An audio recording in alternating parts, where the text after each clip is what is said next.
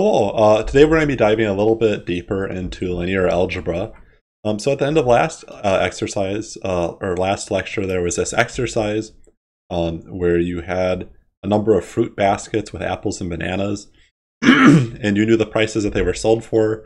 And uh, basically each basket worked out to be an equation, and you had to solve for um, how, how much an apple is worth, how much a banana is worth, so on and so forth.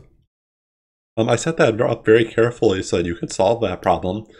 Um, to understand messier problems and solve them, uh, we have to learn a little bit more um, about matrices and, and, and, multiplying them. And so that's going to be a little bit of review here and also building. Um, here I'm doing a, a dot product between um, a matrix and a vector, uh, which has been our main focus. And I'm going to do it, solve that problem three ways. First, I'm going to use NumPy to solve it.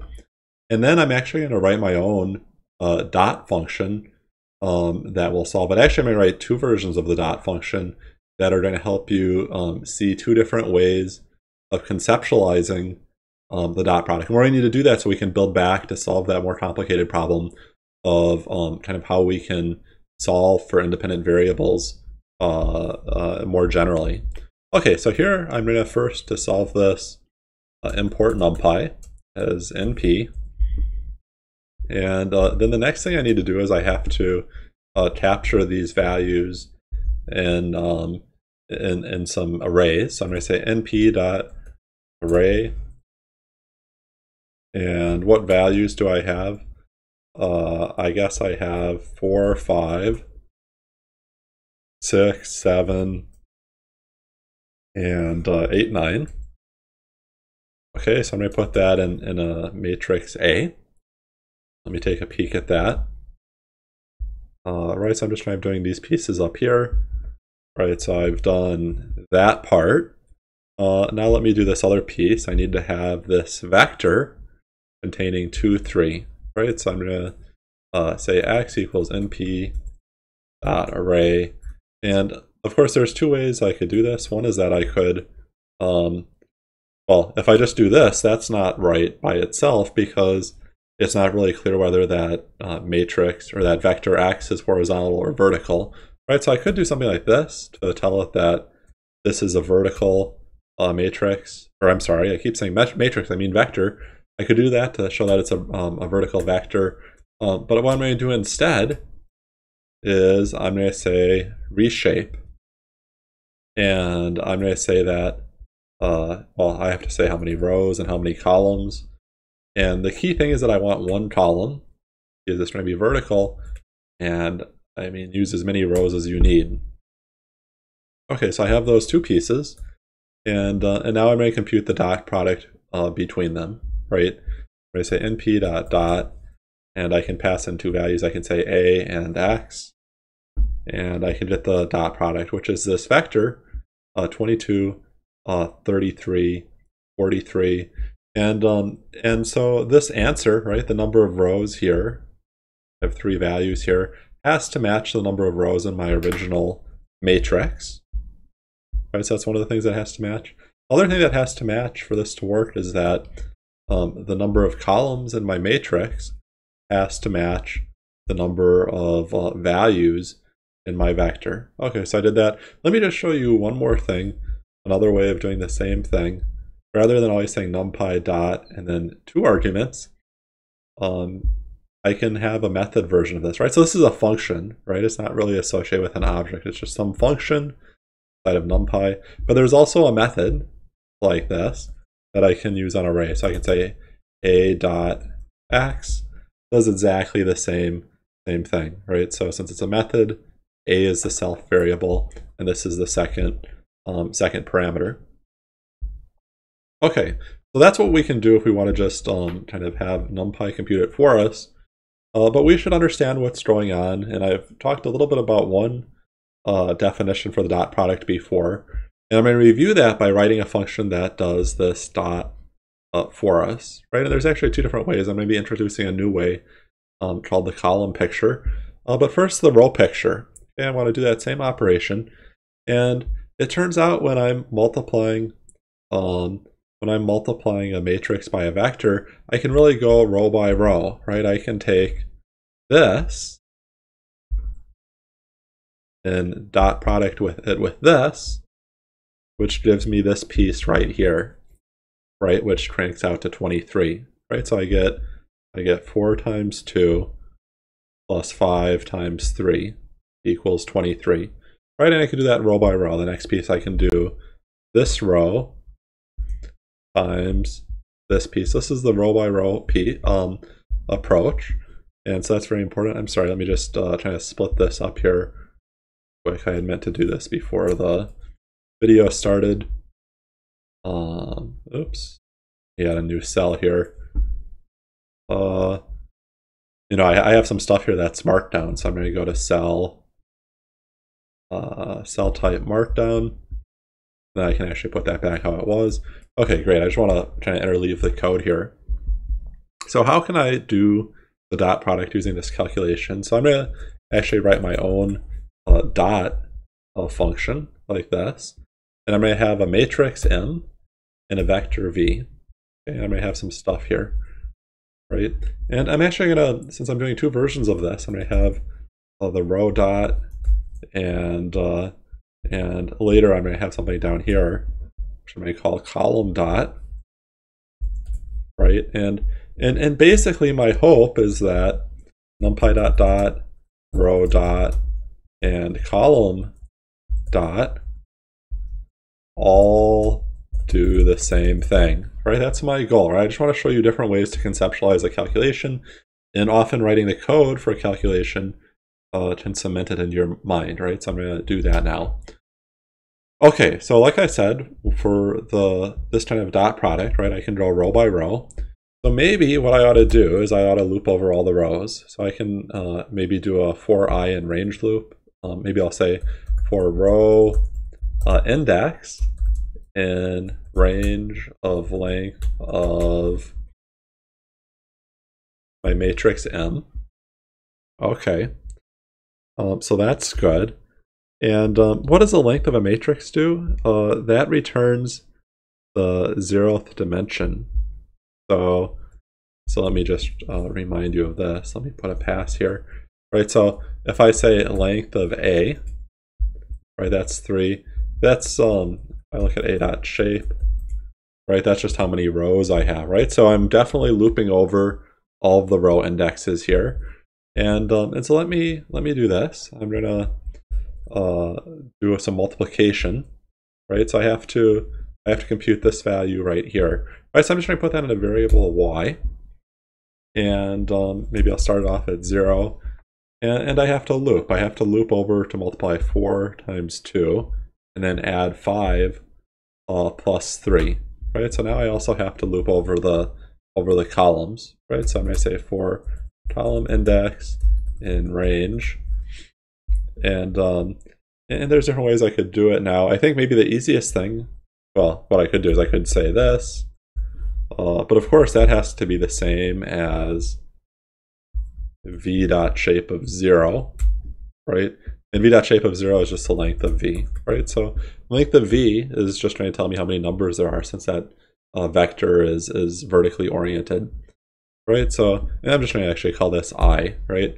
It's a little confusing to call it um, column because, well, I'm looping over these columns, right? But I'm going to use that same value to loop over these, right? So it's kind of strange to uh, have the variable called column if I'm looping over them like that. Okay, so y has to plus equal something, right? Because we're trying to add up a bunch of these uh, multiplied pairs, right? So what will it plus equal? Well, it'll be m and then row index i, right? So here I'm just looping across the row of the matrix, and I'm going to multiply that by what? I'm going to multiply that by that ith value there, right? So I get 4 times 2, another iteration of the loop, I get 5 times 3. And let, for now, let me just print off what the, these y values are. I'm going to run that, and um, well, of course it does nothing unless I call it. I'm going to pass my A matrix to M. Remember that um, I'm not really showing the code here, but this was my A matrix. And I'm going to pass X to V. And remember that this vector uh, uh, was my X vector. I'm going to run that. And we see that we're um, getting these same numbers as expected, 23, uh, 33, and 43.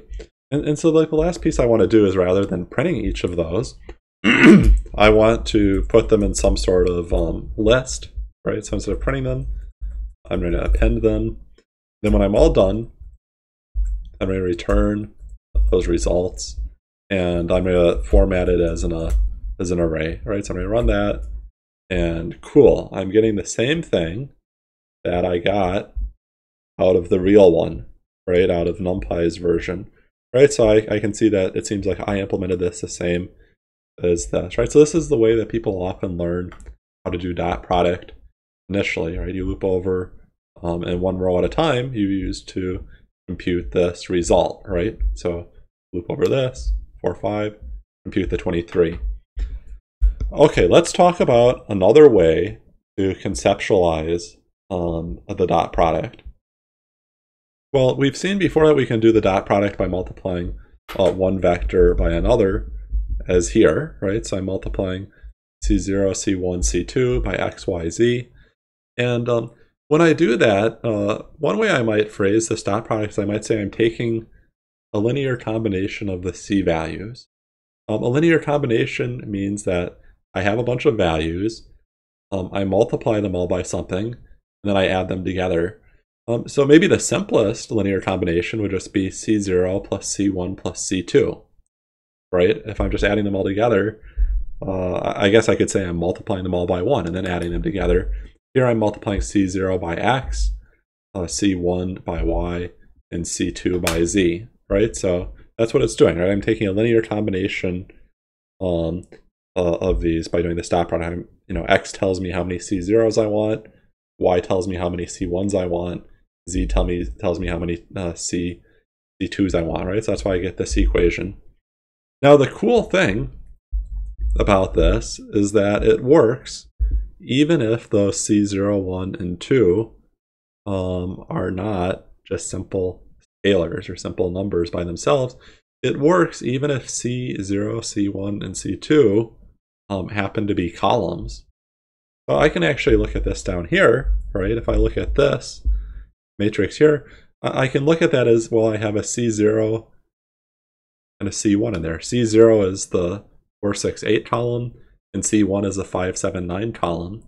And so what that means is that I can take this column, I can take this, oh, let me grab that. I can take this column here, and I can multiply it by zero, or I'm this this value here, right? So I get I get two of the first column, right? Notice that now I'm just doing it element wise. So what will that be? That will be, you know, 8, 12, 16, right? And then then I take the the next one, right? I take the next column, and then the next coefficient from this factor, right? So I get what do I do? I get oh, excuse me, I get three of the second column, right? That's what that means when I multiply um, I multiply a matrix by a vector, I'm taking a linear combination of the columns, right? I multiply each of the columns by something and then add them add up those columns. Okay, so different calculation than this up here, but you can already see that it gives me the same result. These are uh, mathematically um, equivalent. I'm not going to try to convince you of that. I'm just going to let you take that um, as a fact, right? But I'm going to, at least in this example, implement it um, from this other perspective. Because this, this column picture, conceptualizing in this way, is really going to help us see um, some problems when we want to kind of discover what the coefficients are for some, some model. Okay, so what do I want to do here? Well, now, um, ultimately, I, I need to return the column at the end, and I'm kind of adding up these columns one at a time. All right, so maybe what I'm going to do is I'll have a variable called column uh, column sum. And, um, you know, going to start off with some zeros. And, um, well, what shape do I want for that? Um, it's going to be two-dimensional, right? This is two-dimensional over here. Um, I, I, guess, well, how many rows do I have? I don't quite know. Let me think about that. I have one column. Um, well, I guess the number of values here that I'm having on the right better match the number of rows I have in my original matrix. So I guess really for this, I can just say, well, what is the length of m? And when I'm all done, I'm going to return that column sum. And there's some work to be done here. But I just want to take a peek quick when I do this dot product using the column uh, uh, kind of view of the world. What do I get? Um, I, I, get these three values on top of each other, right? And so what I want to do now with this uh, 0, 0, 0 is that I want to add two of this column, and I want to add three of this other column. Okay, that's my goal. Right, so I have to loop over the columns this time. Right, so how can I do that? So I can say for column, index, and range of uh, something. Um, this isn't right. That would loop over the rows, so that's no good. Um, this is another way to loop over the rows. This is how I loop over the columns right? So I'm going to loop over all the columns in my matrix. Okay, and so so let me do this. I'm just going to pull out these columns, and um, and so how can I do that? I, I have to do some slicing. So I have to figure out what rows and what columns here. Right, so I'm slicing it. Uh, you know, I think I want all of the rows. And um, which columns do I want? I think I just want um, whatever index I'm on. So let me, let me take a peek at this, see how we're doing. And um, and, and you know what I'm seeing is that the dimensions of these are weird, right? It pulled out four, six, eight as my first column, uh, but it's changing the dimension of that, right? And that's because here I'm just trying to pulling out one column. Um, what I'd really like to do to keep it vertically oriented still is do a slice of size one, right? So I still get that vertical, uh, vertical shape. I'm just trying to do that. So I'm just taking a slice of that one thing. But that, that still keeps it as a two-dimensional deal, right? So I can see my 468 is still uh, vertically oriented.